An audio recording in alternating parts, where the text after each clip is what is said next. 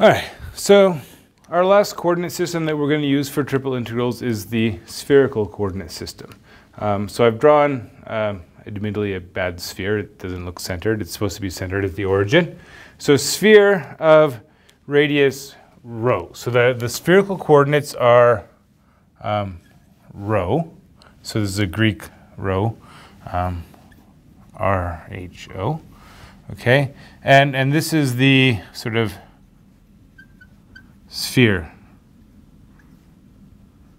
radius. Okay? Now, once you're on a sphere, you need two coordinates to specify your position, right? This is something we know because we, we live on something pretty close to a sphere. If you want to specify your position on a sphere, you need to know your latitude and your longitude, right?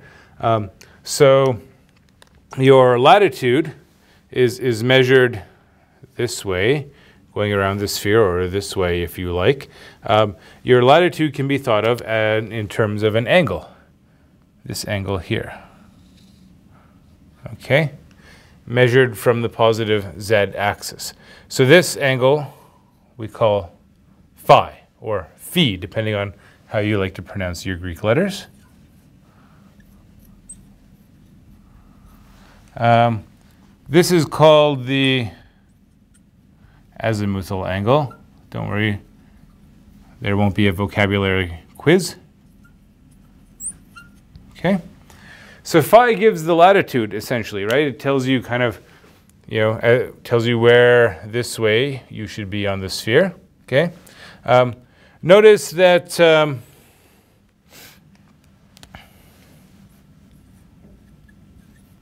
rho can be any positive real number um, phi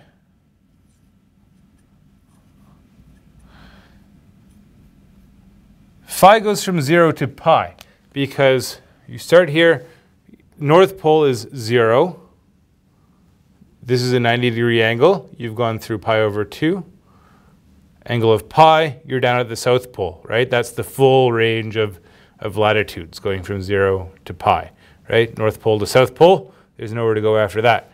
All right, what's the remaining, uh, what's the remaining coordinate? Um, so the remaining coordinate, theta, we know how to, well, I don't know, just to be complete, there's theta.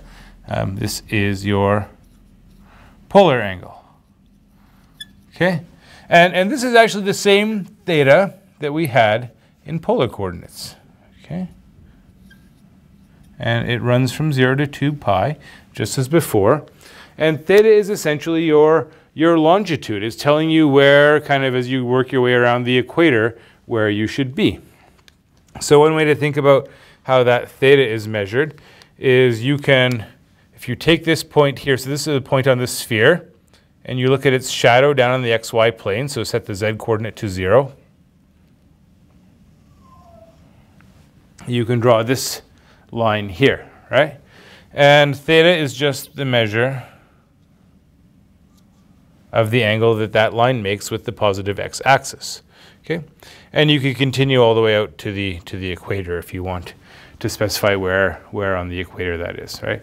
So that's one way to think about it is is that you have kind of this is like your equatorial angle, right? That is this equatorial angle measured from from here around to here. And then you have this sort of azimuthal angle kind of coming up right through the point like so. Okay, so that's your, your polar coordinate system. Um, so the there, if you want, you can talk about these canonical surfaces. These are drawn in the textbook, and the textbook does a better job of drawing them than I can. Um, so your, your canonical surfaces are when you set one of these coordinates equal to a constant. If rho is constant, you're on a sphere, right? So you, you put yourself on a sphere, and now you need coordinates on that sphere, the so-called spherical coordinates, which are these two angles, right? Um, so uh, a constant theta, just as before, is kind of a half plane coming out of the z-axis, right? So, and you're looking at where does it cut the sphere? It cuts it along this this line here, right? I mean, this can continue down to the, the south pole if you want. Um, if you set phi equal to a constant, constant phi, well then you can revolve this around, right, you can let theta vary. And as you revolve it around, you'll notice that when you set phi equal to a constant, what you get is a cone. Okay. So sphere, cone, half plane, those are what you get. Um, how do we relate these spherical coordinates back to the rectangular coordinates that we're familiar with? Well, we've got our x, y, z coordinates labeled there, right? We can see some relationships. We've still got our x, y, z axes in here. Well, what you can notice is that this, this is, z is the distance between these two points, right? It's the distance of this side here, right? Um, this line down here, right, this is, this is in the xy plane.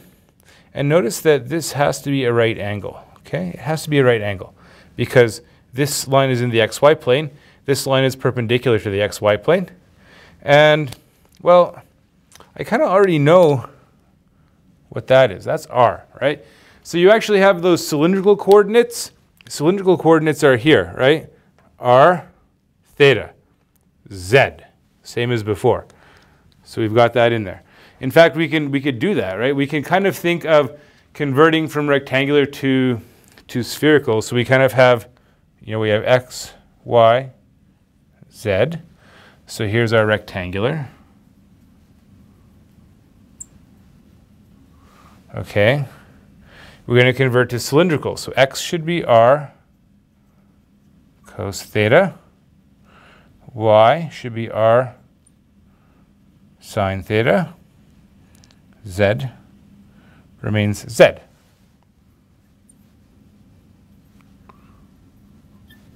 Now we're using cylindrical coordinates.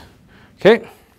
Um, now, how do we get from cylindrical to, to spherical? Well, in fact, all we have to do is we've got to deal with the r and the z, right? Theta is the same in both coordinate systems. Theta is shared by the cylindrical and, and spherical coordinates. It's the same polar angle as always. So the relationship, well, it's sitting here in this right angled triangle. Okay, let's redraw it. Okay, we have rho, we have z, we have r, and we know that this angle down here, that's phi. And basic geometry would tell me that um, there's actually a, there's a rule in elementary geometry that says you have two parallel lines and a diagonal between them, these two angles are always the same. So this is also phi here. Okay.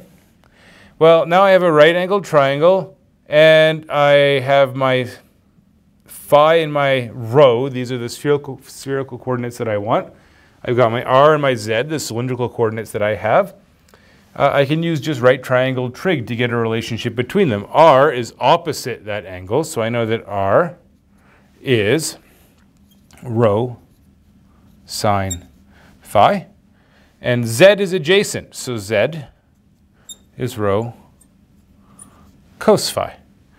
And so if I plug those in, I've got spherical coordinates. So R becomes rho sine phi that cos theta is still there.